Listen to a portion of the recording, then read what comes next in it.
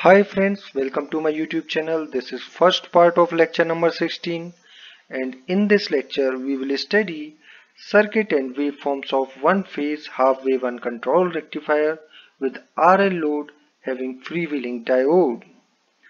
So this is the circuit diagram of rectifier. In this circuit di diagram we see that this RL load is connected in parallel with this freewheeling diode. Okay, this is main diode and this is supply voltage. The supply voltage is applied to this whole circuit. The supply voltage Vs is equals to Vm sin omega t and this dark black line is waveform of supply voltage. We will see the operation of this rectifier circuit in three angular slots. First, first we will see the operation of this rectifier circuit from 0 to pi. Then we will see the operation of this rectifier circuit from pi to beta. Then we will see the operation from beta to 2 pi. Okay, first we start with the circuit operation from 0 to pi. From 0 to pi, this positive half cycle of sinusoidal wave applied to this main diode. So when positive half cycle is applied, this diode get positive potential at anode. When positive potential is applied to this diode, this diode get forward bias and act as short circuit. Now during positive half cycle, negative polarity reach to the anode of this freewheeling diode. That's why this freewheeling diode get reverse bias. So we can conclude that from 0 to pi this main diode is short circuited and this freewheeling diode is open circuited okay so when this main diode is short circuited then this voltage source Vs will appear across this RL load or we get V0 is equals to Vs and that is equals to Vm sin omega t. So here it is the waveform of V0, V0 we see that V0 is equals to Vm sin omega t from 0 to pi. Now output current I0. Here this is the equation of output current. This equation has already been told to you in my previous lecture. That lecture was on one phase half wave uncontrolled rectifier with RL load. But from exam point of view there is no need to memorize this derivation. But you must know three points regarding this output current. That first is we get output current up to beta. Beta lies between pi to 2 pi. And third point is that maximum value of this output current occurs between pi by 2 and pi. Suppose this is pi by 2. Okay. So this maximum value of output current is lying between this pi by 2 and pi and this beta is lying between this pi and this 2 pi. Okay now next point is drop across diode. Here I told you that diode act as short circuit during 0 to pi. That's why we get 0 voltage drop across diode. Next is source current IS here I naught is equals to IS because this diode is short circuited that's why we get this source current IS is equals to I naught. Now what is current across freewheeling diode? I told you that when positive half cycle is applied then this freewheeling diode is acting as reverse bias and during reverse bias current across freewheeling diode is zero because it acts as open circuit. So during this period current across freewheeling diode is 0 that's why we get 0 here. Okay and this supply current is equals to this output current. Okay from 0 to pi the supply current is equals to output current. Okay.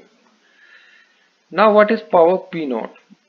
We know that p naught is equals to v naught i naught and we know that from 0 to pi this i naught is positive this V naught is positive that's why we will get P naught greater than 0 or we can say that from 0 to pi power is delivered from source to load. Now after pi this source voltage Vs reverses.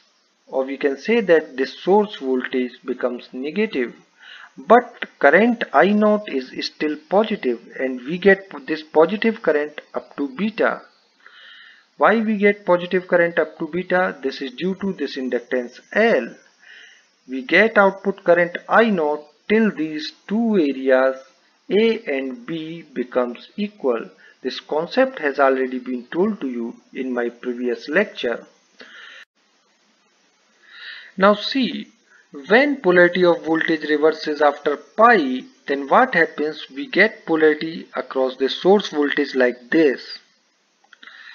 So when polarity reverses, then this positive potential reach the anode of this freewheeling diode. And on getting this positive potential, this freewheeling diode get forward bias. And we know that during forward bias, diode act as short circuit. So when this is short circuited, then this current I naught gets shifted from main diode to this freewheeling diode. Or we can say that this free this output current freewheels in this loop. Or we can say that this output current freewheels through this resistance R, this inductance L and this freewheeling diode. So what happened when this current shifted to this loop then no current will flow across this main diode and we get source current is equals to 0. Here we can see in this waveform that from pi to beta I naught is positive while source current is 0. So we can conclude here that for this rectified circuit with freewheeling diode source current is not equals to output current. This is very important. And Another important point for this rectifier circuit is if we choose R and L in such a way that we make the beta greater than 2 pi then continuous conduction mode is possible. Okay, because this beta depends upon the value of this resistance R and L. So if we make this beta greater than 2 pi then we get waveform like this. Okay so we can clearly see that continuous conduction mode is possible in this case. Now we will see advantages of freewheeling diode. We know that without freewheeling diode we get waveform of output voltage like this. So without freewheeling diode this output voltage has this negative part. Due to this negative part what happens average value of output voltage decreases because net positive area decreases. And also from pi to beta what happens? This V naught was negative and this I naught was positive. That's why we get P naught negative. And this P naught negative means energy fed back to source from pi to beta. But if we use freewheeling diode then this negative part get eliminated when this negative part get eliminated, then net positive area increases. Or when net positive area increases, it means average value of output voltage increases or we get output always positive. Okay. Second advantage is, is continuous conduction is possible in case of freewheeling diode. Third is we know that P naught is equals to V naught average into I naught average so if V naught increases, V naught average increases, then P naught also increases. Or we can say that system efficiency increases. And last advantage is we know that to calculate the power factor we use this equation in which this is input power and this is output power. Now power factor is directly proportional to V naught average. So as this V naught average increases then power factor also improves. So these are the advantages of freewheeling diode. Now we can easily understand the operation of circuit from pi to beta. From pi to beta this I naught current continues to flow in positive direction. So we get I naught greater than 0 but this I naught gets shifted from this main diode to this freewheeling diode and I naught flows from pi to beta in this loop. That's why we get Is is equals to 0. And what is output voltage V naught? When this current is shifted in this loop, then we can see that this short circuited diode is in parallel with load. That's why due to this short circuit, we get V naught is equals to 0. Now what is drop across diode? Because current is shifted from main diode to freewheeling diode, that's why current across this diode is 0 or it, it acts as open circuit. During open circuit, this whole reverse voltage that is Vs, this supply voltage appear across this main diode. That's why diode voltage is equals to supply voltage. And what is current across freewheeling diode?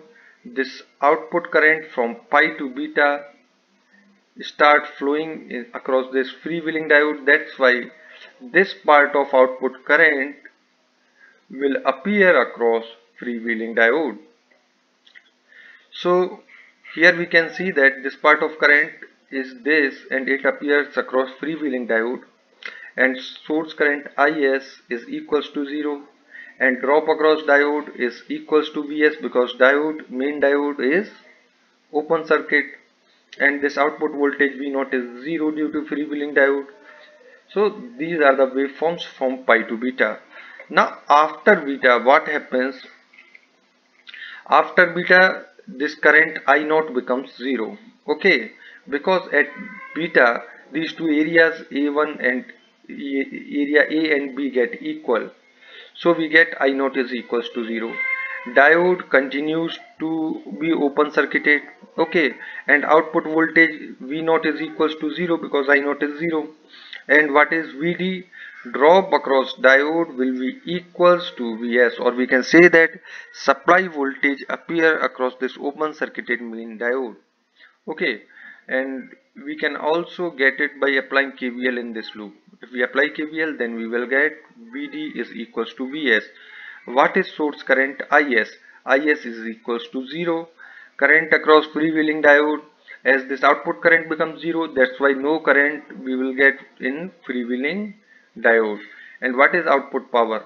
Output power is 0 because V0 and I0 both are 0 so here we can see that output current becomes 0 after beta. V0 also becomes 0 this diode voltage Vt this negative half cycle of sinusoidal wave appear across this diode. Okay. And what is source current? Source current is 0 and what is current across freewheeling diode? When output current becomes 0 then current across freewheeling diode also becomes 0 so this is all about this lecture. I hope you really like the video. Thank you. Jai if you got the knowledge and concepts from this video then please like the video and subscribe the channel you can give your views and ask any questions related to this topic in comment box. Also share this video with your friends because sharing is caring. Don't forget to press the bell icon to get the notification of my upcoming videos. Thank you.